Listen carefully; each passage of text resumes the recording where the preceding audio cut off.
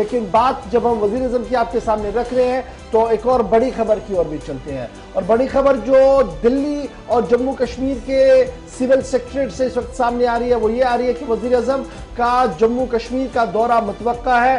मार्च के आखिरी हफ़्ते में दौरा हो सकता है और इस सिलसिले में सरमाकारी और नए तरक्याती प्रोजेक्टों की संग बुनियाद रख सकते हैं वज़ीर अजम मरकज और जम्मू कश्मीर इंतजामिया के बीच सलाह मशवरा इस सिलसिले में लगातार जारी है। वजी अजम दफ्तर से इस वक्त की सबसे बड़ी खबर और जो हमें सिविल सेक्रेटरीट के जरा से खबर मिल रही है वो ये है कि मार्च के आखिरी हफ़्ते में दौरे जम्मू कश्मीर, बल्कि मुतव है और जम्मू के अंदर एक अवामी इज्तम का अहतमाम भी हो सकता है। वज़ीर अजम जहाँ तरक्याती प्रोजेक्टों की संग बुनियाद रखेंगे। वहीं पर इंडस्ट्रियल इन्वेस्टमेंट यानी सरमायाकारी के प्रोग्राम को भी आगे बढ़ाने की कोशिश, आगे बढ़ाने के लिए हवाले से जो है, वो बात की जाएगी। अब जब सरमायाकारी की बात हो रही है तो याद रखिएगा कि जो इस वक्त जो प्रपोजल्स जम्मू कश्मीर इंतजामिया के पास है, वो कम बेश सत्तर हज़ार करोड़ रुपए तक आ चुका है। ये जरा से हमारे पास खबर है।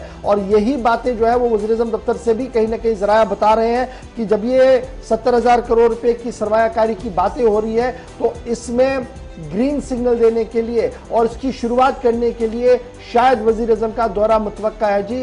रवा महीने के आखिर पर यह दौरा हो सकता है जम्मू कश्मीर के अंदर। एक तो यह बात है। दूसरी बात यह भी याद रखिएगा कि जब जम्मू कश्मीर का वफ जिसकी क्यादत पहले कमिश्नर सेक्रेटरी रैंक के अफसर कर रहे थे, उसके बाद खुद लेफ्टिनेंट गवर्नर साहब दुबई चले गए थे और दुबई के अंदर उन्होंने बैक टू बैक कई मीटिंग्स की थी। उन मीटिंग्स के पस मंजर में जो अभी तक एश्योरेंसेज आई हैं, गैर मुल्की सरमाकारी की, उसमें काफ़ी पेशरफ हो रही है। और उसी गैर मुल्की सरमाकारी को जो जम्मू कश्मीर के अंदर पहली बार होने जा रही है, उसको लेकर एक जो माहौल बन रहा है, उस माहौल को मजीद बेहतर बनाया जाए। जाए ये वजह है कि वज़ीर जम्मू कश्मीर का दौरा कर सके। दो तरह की सरमाकारी होगी जो एक गैर मुल्की सरमाकारी होगी, जिसे आप फॉरन डायरेक्ट इन्वेस्टमेंट कहते हैं। एक मुल्क की सतह की सरमाकारी होगी, जिसमें पहले ही कुछ एमओयू साइन किए गए हैं, जिनमें जिंदल का जो स्टील इंडस्ट्रीज़ है, उनकी तरफ़ से एक एमओयू साइन किया गया। कुछ होटलियर्स की तरफ़ से एमओयू साइन किए जा रहे हैं, कुछ और चीज़ें जो है वो हो रही है। तो एक मुल्की है, एक गैर मुल्की है। गैर मुल्की सरमाकारी को यकीनी बनाने के लिए फ़िलहाल वज़ीर अजम का दौरा जो है वो इस हवाले से मुतव माना जा रहा है।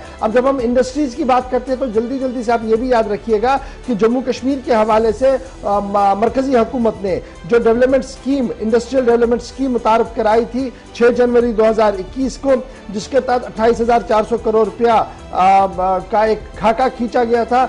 उसमें यह कहा गया था कि जनाब साढ़े चार लाख से पाँच लाख तक के बेरोजगार नौजवानों को रोज़गार मिलेगा जी प्राइवेट सेक्टर के अंदर। और जब ये मुल्की गैर मुल्की सरमाकारी को आप कल करते हैं तो उम्मीद और ज़्यादा बढ़ रही है और सरकार का मानना है कि जितनी जल्दी हो सके अब वो इस पर काम करना चाहते हैं ब्रेक थ्रू करना चाहते हैं, ताकि जो अभी तक हवा और कागजात में है, वो जमीनी सतह पर जम्मू कश्मीर के नौजवानों को दिखे और रोज़गार के वसाइल पैदा हो सके। लेटे सोप सो कि वजी का दौरा हो और दौरे से अगर ये काम होता है, बेरोजगारी पर काबू किसी तरीके से पाया जाता है, सरमाकारी होती है तो ये एक अच्छा और नेक कदम जम्मू कश्मीर के लिए हो सकता है।